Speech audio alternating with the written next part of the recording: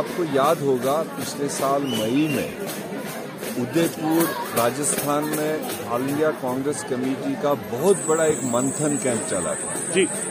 और उस मंथन कैंप में कई सारे नए पॉलिसीज़ अडॉप्ट करने के लिए तय हुआ था जिसमें सबसे इम्पोर्टेंट ये था कि जितने देश में नौजवान लोग कांग्रेस में जुड़ सकते हैं, उतना ही कांग्रेस पार्टी और देश को फ़ायदा होगा। और उस पॉलिसी को हम लगातार इम्प्लीमेंट कर रहे हैं। मैं खसूसी तौर पर यहाँ मेंशन करना चाहूँगा, मैं इस रियासत का पीसीसी प्रेसिडेंट था और इतफाक से मेरी उम्र बासठ साल क्रॉस हुई। और उस बासठ साल क्रॉस करने की वजह से ही आपने देखा कि चार महीने पहले अगस्त में जब तब्दीली लाई गई। और सोच लीडरशिप का था कि इससे भी नौजवान लोगों को तंजीम में जगह दी जाए ताकि नौजवानों के लिए एक राह हमवार हो। और फिर मेरी जगह पर जो पीसीसी प्रेसिडेंट बना, वो इतफाक से मेरे से 10 साल 11 साल छोटा था।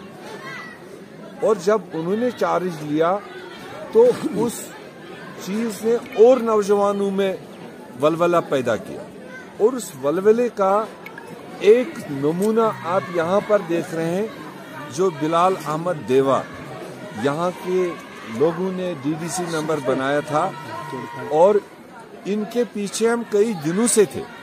ऐसा नहीं झगड़ा था हम कन्वे कर रहे थे। और मैं खुश हूँ कि एक सही टाइम पर बिलाल देवा और इनके पूरे टीम ने इनके साथ जो मुझे एक महीने से मिले चाहे वो नेशनल कॉन्फ्रेंस के लोग हैं बहुत पुराने लोग हैं चाहे वो पीडीपी के लोग हैं, चाहे वो दूसरे जमातों के लोग हैं, और वो सब मिल कर के इनको जो हौसला दिया है और आज हमने इनको पार्टी में ज्वाइन किया है, मुझे दिल्ली खुशी है कि ऐसे नौजवानों को जिनको लोगों का इतना प्यार पीछे से हो, अगर हम इनके आगे रोड़े अटकाएँ तो फिर हम सही कांग्रेस में नहीं है, फिर हम सही लोगों की मतलब जो डिमांड है, उसको परख नहीं रहे।